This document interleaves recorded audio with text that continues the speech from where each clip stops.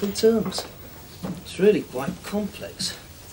Wasn't there something about it on page 35? Oh, hello, Dad. Didn't see you. If I were to say bubble gum, would that mean anything to you? No? Pink bubble gum. No? It was on the drive. Oh, I put my foot in it. nasty. It could have been. I was putting the car away at the time. My foot stuck to the accelerator pedal and it went through the back of the garage. Could have been an accident. It was you, wasn't it? What makes you think it was me? Oh, we never had pink bubblegum on the drive before you came. That doesn't mean it was me. Well, you're not suggesting Mrs. Thompson started chewing it, are you? I've no idea. Now, if you don't mind, I'm trying to study. This happens to be the most critical period of my life. I need peace and quiet. And what are you studying? History. Oh, I was good at history. Perhaps I can help. Uh, no, it's all changed since your day. How can it have changed? History's history. No, it's all different. What theory are you doing? Uh, Napoleonic Wars. Do we still win? Yeah. Well, that's good. You want the date of the Battle of Trafalgar? Why? I want you to tell me. Don't you know? I know. The question is, do you? Um, Trafalgar. Come on, you must have heard of Trafalgar, the famous sea battle where Lord Nelson was killed. I know. He died in Hardy's arms. His last words were Kismet Hardy, which means fate. Or Kiss Me Hardy, which means something entirely different. no one's ever been quite sure. At least they were sure of the date, which is more than you are. It was 1805. Correct. Ask me another. Right. Who was Chuck Berry? Chuck Berry? Now then, was he one of Napoleon's trusted aides? Did he serve on Wellington's staff? Or does he play the electric guitar? Wonder how that got there. You were reading it. Do you really think you're going to get your A levels? Well, it's not going to be easy. They don't give them away, but let's just say I'm quietly confident. It's more than your teachers are. How do you know? I phoned your school today. Ah, well, yes, before you say any more, just remember that one or two of them don't like me that say anything. Oh, who doesn't like you? The headmaster, for a start. Anyone else? The head of upper school. Oh, I see. And the history teacher. History. And English. Is that all? Possibly geography. But apart from that, you're fairly popular. I suppose so, yeah. You're living in a dream world, and I need a drink. Do you know what they said? They said you haven't spoken once in class this year, except whilst to go to the toilet. That tonsillitis. No, you haven't. Headmaster said you hadn't made a single contribution to school life, either in work or sport. Well, you can't with raging tonsillitis. He said your lack of concern for the future had given him the impression that you were in receipt of a private income. Well, if that means me, you're going to be disappointed. So he, uh, he doesn't think I'm going to get my A-levels. A levels? He thinks the only way to get you out of that sixth form is to burn it down. he said if I'd seen your last report, which incidentally I appear to have signed for, thus adding forgery to your other accomplishments, I'd have known all this. All right, I've had a bad year, but I have had tonsillitis. No, you haven't had tonsillitis. That's right. Call me a liar. How do you know I haven't had tonsillitis? Because you haven't got any tonsils. Haven't I? no, you had a mark when you were three. I didn't know that. Why didn't someone tell me? Well, does it matter? Of course it matters. Taking someone's tonsils out and not even telling them. You know what this means? What? Glandular fever brought on by overwork. I think the best thing I can do is study quietly at home. Headmaster thinks you're wasting your time. You should look for a job. A job? You've gone pale. Oh, come on, you must have thought about it. What would you like to do? What, what interests you? Well, um... I like writing poetry. Poetry. Well, that's a relief. Thought it might be something impractical. Of course, the country's crying out for poets. Can't get enough of them. We're going to hold our own with the Japanese, we've got to turn out more poets. Who knows? You could become poet laureate. That's worth 70 quid a year. Not interested in that sort of stuff. I'll be a rock poet and write lyrics for the big groups. I could become rich. Good, then I can retire and you can buy me a bungalow. You can laugh, but I've got talent. Who says? Adrian, for one. Who's Adrian? Someone I've met. Came to the house and I showed him my work. He was very impressed. And he's incredibly clever. He's got three A-levels. I don't care how many A levels he's got. I warned you about inviting people to the house. I didn't invite him. And what was he doing here? Emptying the dustbins. Emptying the dustbins? If he's so incredibly clever, what's he doing working on the dust carts? It's nothing to be ashamed of. The driver's got a degree in political philosophy. What? Yes, Enid? Mr. Willows, do you mind if I have a word? Oh, certainly. Alone. Oh. Uh, perhaps you'd get some food, Matthew. I've eaten. I meant for me. Oh, right. Um, would you like uh, cheese on toast covered in beans and topped with a fried egg? No. I'll butter some bread. Yes, Enid? I just wonder how much more I can stand. Oh, well, if the work's too much with the two of us, It's I... not the work. I've just found something obscene under Matthew's bed. It wasn't bubblegum, was it? No. it was a book. What sort of book? A book with pictures of men and women. Yes. I'm sorry, something seems to have happened to my throat. men and women in positions of intimacy. May I see?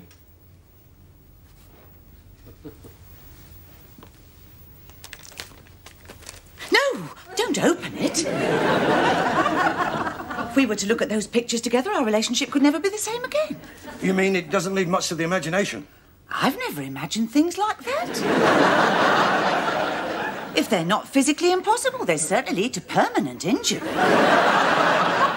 I was shocked, Mr. Willows. In fact, I lost the power of speech for several seconds. And I think I may have burnt out the Hoover.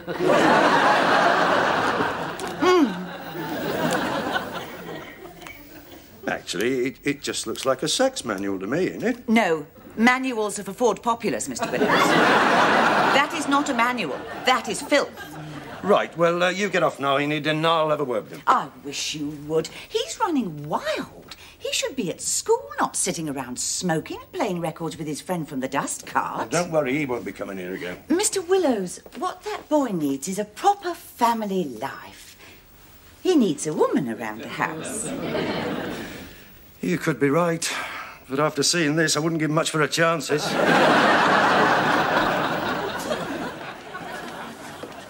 What's the matter with E.T.? She just had a severe shock. She found something obscene under the bed. Which one, yours or mine? Yours! Don't think I want to read that sort of stuff. I mean, you know it all. You know what I mean. It's disgusting. No, it isn't. Sex isn't disgusting. Why'd you hide it under the bed? Because I knew you wouldn't understand. I happen to be preparing myself for a fuller life. One day I hope to meet a girl with whom I can enjoy a deep and satisfying relationship. Well, make sure she reads this book first. She might die of fright. I hope she'll be enlightened. Enlightened? She'll need to be a flaming acrobat. Where did it come from? Adrian gave it to me. I should have known. Now listen, Toad. I don't want to hear the name Adrian again, and I don't want him coming to the house. I think the sooner you get back to school, the better. Well, uh, I suppose I could try the college. You're not going there, full of glue sniffers. I understand they're very good with emotional problems. You haven't got any emotional problems. Of course I've got emotional problems. I come from a broken home and my mother doesn't love me. Well, she doesn't love me either, but I'm not emotional about it. Now, what you need is discipline. No, I, I think I'd respond to a more relaxed atmosphere. You get any more relaxed, you'll fall asleep. Well, you're not going to that college. A levels are rarer than gold dust down there. Someone gets an O level, they have a half day holiday. There's more to education than academic achievement. There is such a thing as becoming a complete human being. Don't you want that? I'll settle for A levels. I don't expect you to become a human being. I'll see if I can get into my old school. Your old school? Yes, yes. At least they still believe in discipline and hard work. I can't go there. Why not? I'd have to wear a uniform. So what? I'd look like a schoolboy. You are a schoolboy. I'm old enough to die for my country. Want to join the army? No. Then shut up. There's something else. It's not co-ed. So?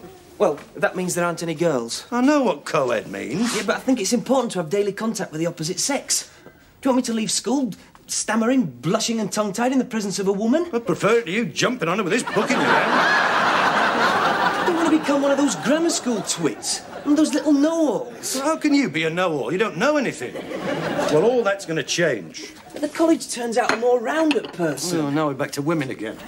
Can we talk about this? We've talked about it. Now, I suggest you get back to your studies.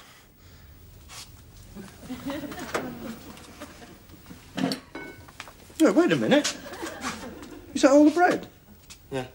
Look, I am the breadwinner round here. Surely I'm entitled to more than one slice. Who's eating it all?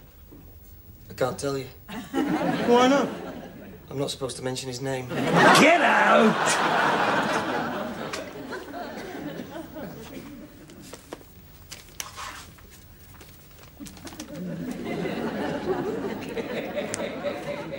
you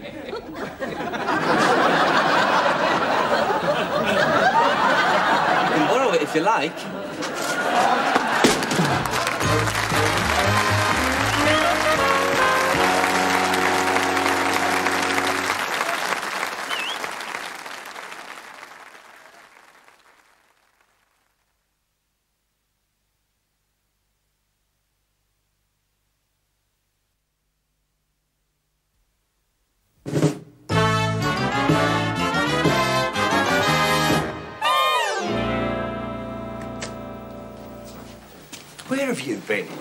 Having a look round. You've certainly taken your time about it. I said two o'clock. I've taken an hour off work for this. Thought I'd suss the place out first.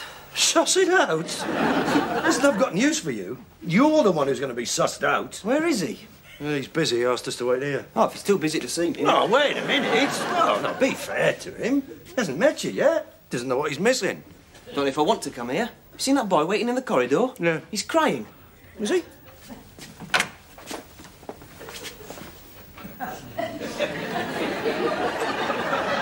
Oh, so what?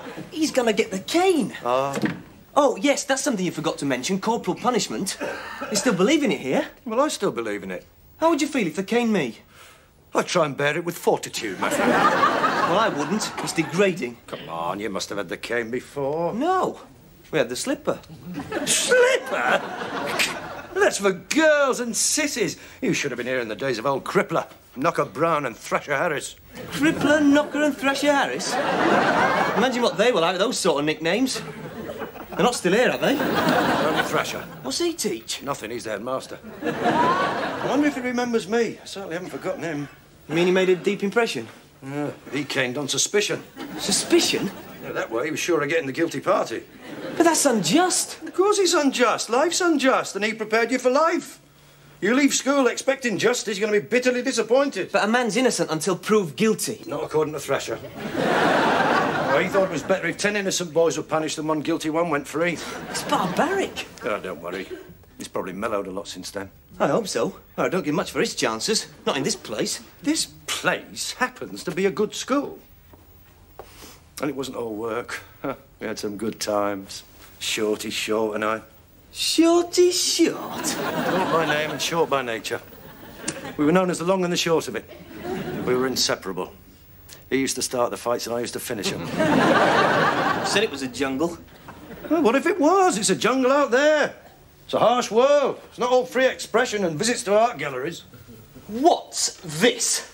Put that down. This is it, the cane. Banned by the European courts and in full view. He probably doesn't use it anymore. Then what's he got it for? He can't use it for walking, he'd have to be a dwarf. It's a deterrent. I bet he uses it, the old sadist. Put that down!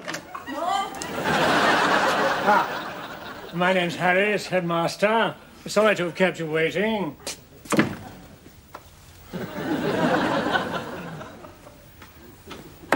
Please sit down.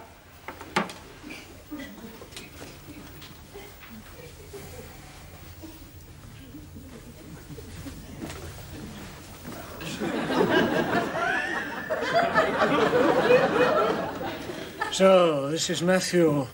Yes. And I make it a rule never to go by first impressions, but the boots would have to go, and the hair. The hair? Too long. Also, he'd be expected to wear a uniform. He's looking forward to it, Headmaster. Gives him a sense of discipline. Exactly. Discipline in this school is exceptional. Have you any objection to corporal punishment? None whatsoever. Well, I.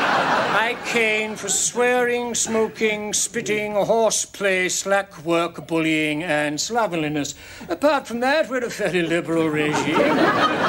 of course, Matthew, as a sixth former, would have a choice. He could be expelled.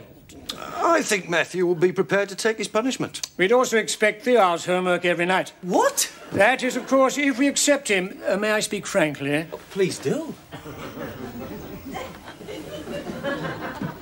We have a brilliant sixth form this year. Probably the most brilliant in the history of the whole school, certainly in my memory. Good. Question is, would Matthew be able to keep up?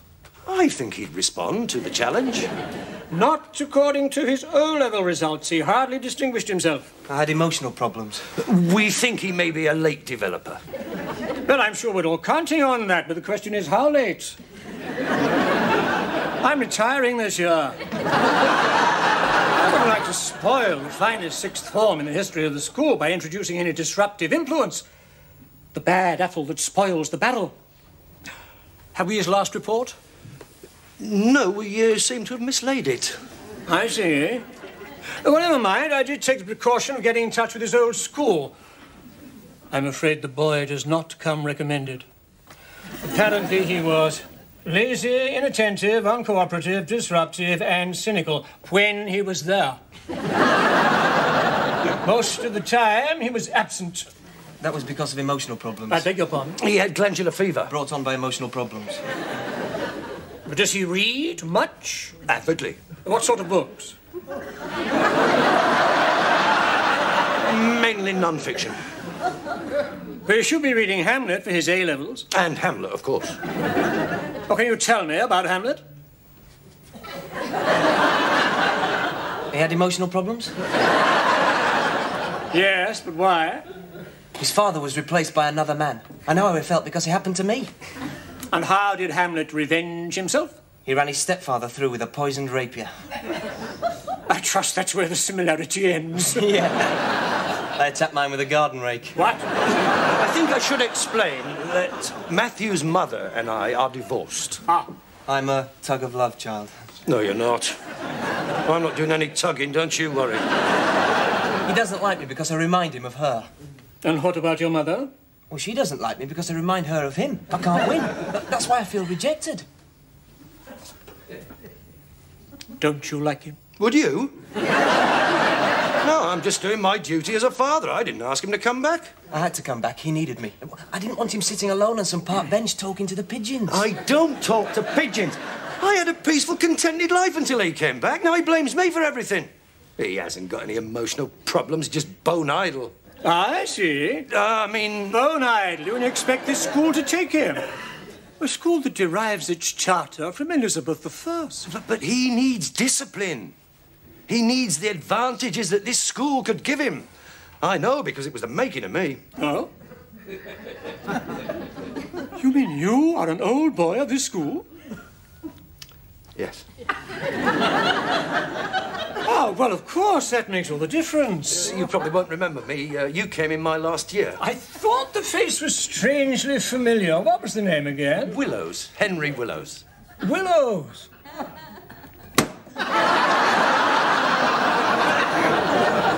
of course. You do remember me? How could I forget? It's the same with me. They were the happiest days of my life.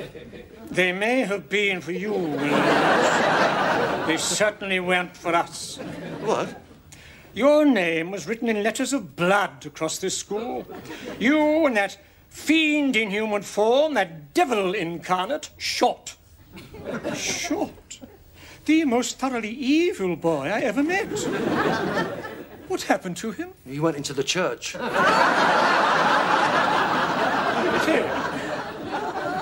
And was it his idea or yours to make the more sheltered new boys read aloud from Hank Janson and Mickey Spillane until they fainted?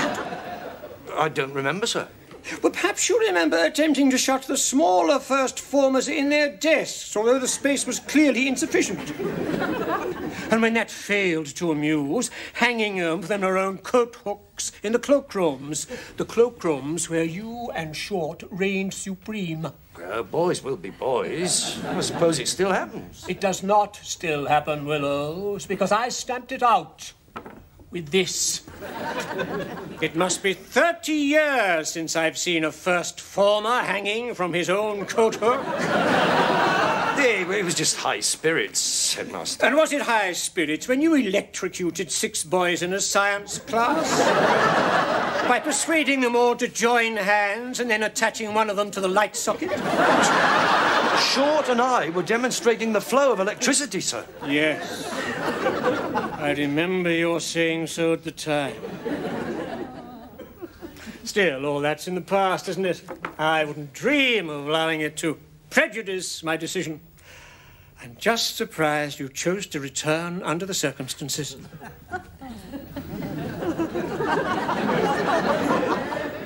now, if you'll excuse me, I have a boy to see. Some misdemeanor in the rhododendrons. Look at them. Beautiful at this time of year, aren't they? You'd think they'd show more respect. But, sir- I'll be in touch. Willows.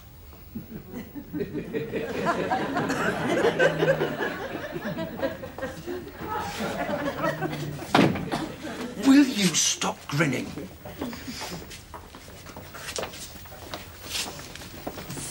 I don't suppose he'll cane him. Shouldn't think so.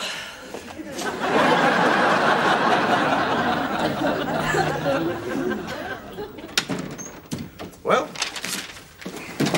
I hope you're satisfied. I just had a call from the headmaster. He suggests that someone with your emotional problems might do better at the college. You mean he turned me down? Yes. He also wants to know if you've got his cane. Ah, I should have known you'd make a bad impression. What about you? What chance did I stand with your record? You and Shorty, the Gestapo of the lower sixth. That has nothing to do with it. It was your scholastic record, your lack of achievement, the missing report. What have you got there? Nothing. Let me see. Oh, at last! The missing report. You had it all the time. Now let me explain. No, no, let me read it. After all, I signed for it. Let's see what you've been so modest about. Good Lord above. This is worse than I imagined. No wonder you were being secretive about it. But this is deplorable. 17 out of 100 for maths. People who count on their fingers do better than that. And look at this 20 out of 100 for history. You get that for getting the date right on the top of the paper. And geography 25 out of 100. That's an improvement. Improvement? 25 out of 100 for geography? I'm surprised you could find your way home. Position in form, 30th. That's not so bad. Number in form, 30. and the comment, makes no effort, lazy, wasting his time and ours. No wonder you hid it. If that was my report, I'd die of shame. It is yours. Found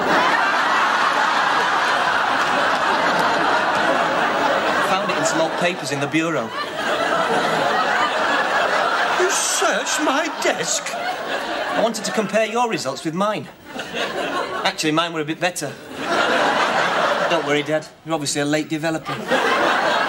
You come to my home, uninvited, and you ransack my personal effects. I won't stand for it.